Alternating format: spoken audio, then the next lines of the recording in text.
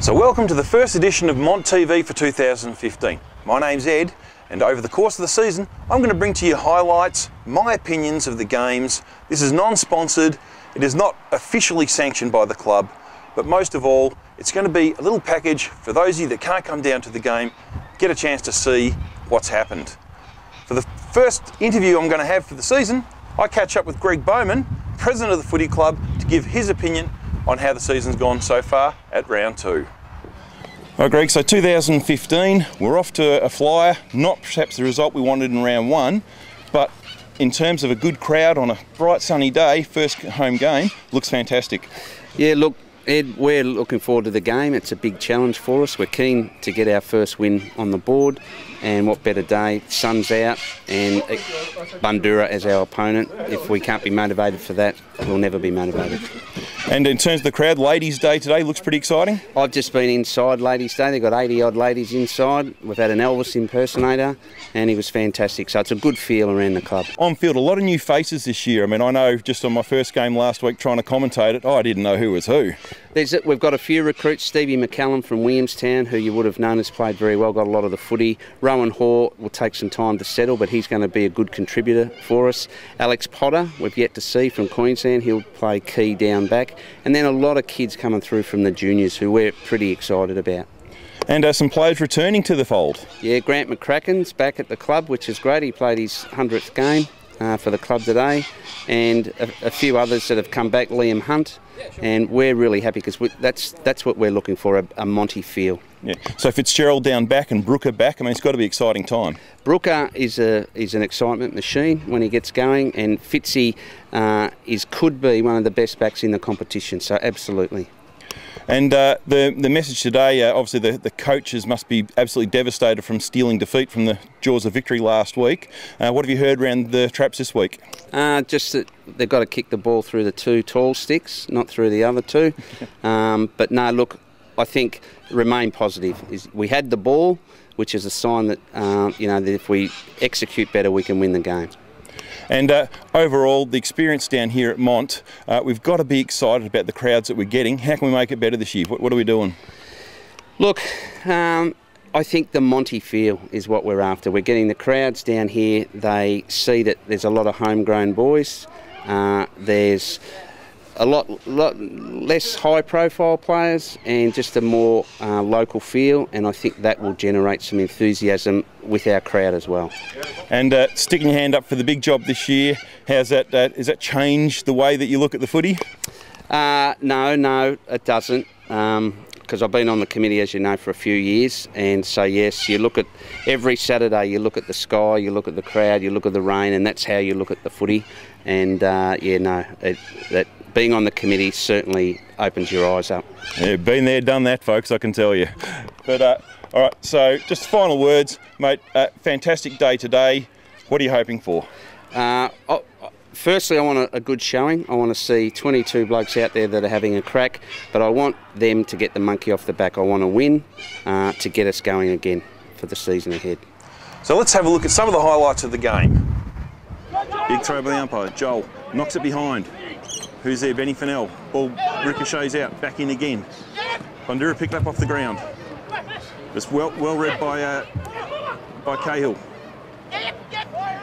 Ball just a big stack on. Bundoora pick it up. Almost a throw out, no, says the umpire. Oh, Cahill just barrels his way out. Off to McKenzie. McKenzie's handball's hot. Off to Collins. Back to Collins. Collins just goes a big talk. Get it down there. Doyle won't let you down. Now, third go for Deutz this quarter. He is proving a handful for Bundoora, but he's not making them pay yet. Montmorency three straight points. Well, shouldn't say straight points because uh, points ain't straight kicking. Kicks in that, split the middle that time. And thank goodness Montmorency get a goal. So hardly a breath of wind at the moment. So no advantage to anyone. Wind will probably pick up later. Bomber, he's already got the uh, already got the face mask. He's obviously been pumped. And is that a goal? Yes, it is, and that's a good start. Well done by Jesse. So incredibly over the past two weeks, 19 points round one, 20 points round two. Bad kicking, bad footy. Could have won both games by a country mile. This game against Bundoora, we had 12 set shots where we missed. that hurts. The first rush behind didn't come until the 11th point, so we had 10 shots on goal where we were entirely responsible for the outcome. Oh, can Montmorency make them pay? pay oh. Missed. Missed one for the quarter. Shouldn't miss this one. Never confident with Big Ruckman. Missed it. Gets it back. Donaldson. Need a goal. A fantastic positive out of the game though was the marking. How good was the, were the forwards? Doida, Hoare, McClellan when he drifted down. They were marking everything. If only they could kick. There though, who's going to get up to Mont? He goes short, looking for and finding. What a beautiful kick. Right, so ball goes high. And Montmorency being Hoare takes his second good mark for the quarter. Looking for Deutz. And Deutz again, how strong is he? Donaldson wins, of course. Kicks under pressure. But he hits Doida on the chest. Bundoora missed the target. Ball comes straight back. And uh, Doida right on that point post. Oh, licks the handball to McCall. Uh, so Licky Collins just goes long. Looking for the big timber. Oh, uncontested. Doida finds McCallum. McCallum puts it length of the ground on the pack Matthews here. Just pumps it in long. Looking for Deutsch front and uh, drifting across the front McLean. Puts in one on one. It was fast paced. It was end to end stuff. It was high marking, hard hitting, but most of all, it was a great game of footy. Better players for the day. Couldn't go past Jesse Donaldson. Almost won the game off his own boot. And then what about Xavier Cahill? He was fantastic across the back. In the forward line, Doida was absolutely marking everything. I mean, the man was a mountain. Bundoora, they had to check him to stop him. Montmorency now. At the back. Montmorency just need to need to get possession. Oh, come on.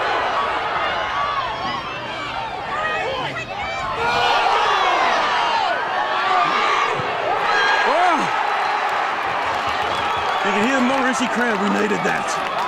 Wow. Now they've got to defend the centre. Straight after the game, mate, uh, a lot better feeling than last week.